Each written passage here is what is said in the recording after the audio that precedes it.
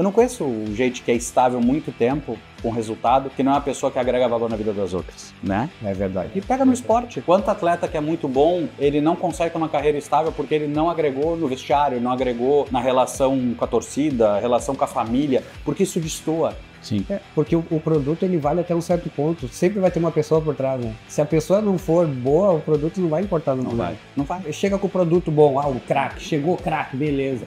Resolveu um jogo, dois jogos, três jogos. É, é ruim pessoa, é uma pessoa no, no, no vestiário, bah, mas não vale tão a pena o craque.